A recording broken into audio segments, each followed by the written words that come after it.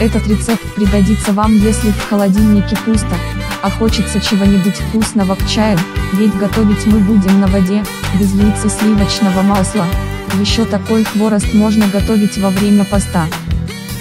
Это вкусное хрустящее лакомство наверняка знакомо всем, но не все знают, что приготовить хворост можно практически из ничего, в этом рецепте я расскажу и покажу, как приготовить хрустящий хворост на воде и без яиц, не верите, что так можно, а вы попробуйте.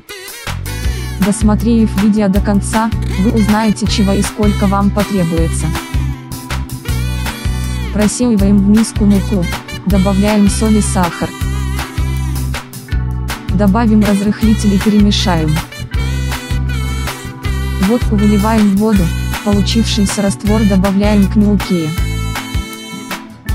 И замешиваем гладкое тесто, которое не должно липнуть к рукам, тесто получится вот такой маленький колобок. Подписка на канал, гарантия свежих вкусных рецептов.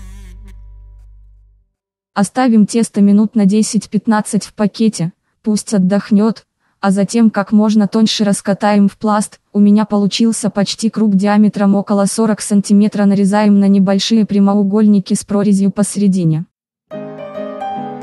И теперь каждый прямоугольник превращаем в будущий хворост, протягиваем один уголок в прорезь и слегка растягиваем.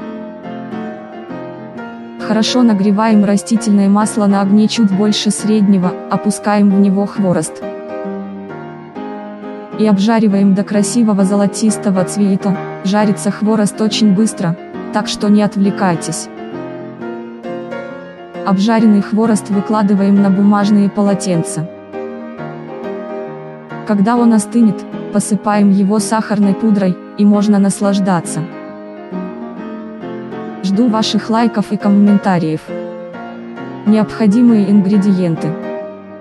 Мука пшеничная, 130 грамм, 1 стакан, вода, 50 миллилитров, водка 1 чайная ложка, сахар, 2-3 чайных ложки, соль 1 щепотка, разрыхлитель, четверть чайных ложки, сахарная пудра, 1 столовая ложка, растительное масло, 300 мл, количество порций, 1. Ставим лайк и подписываемся, ваши отзывы очень важны. До свидания.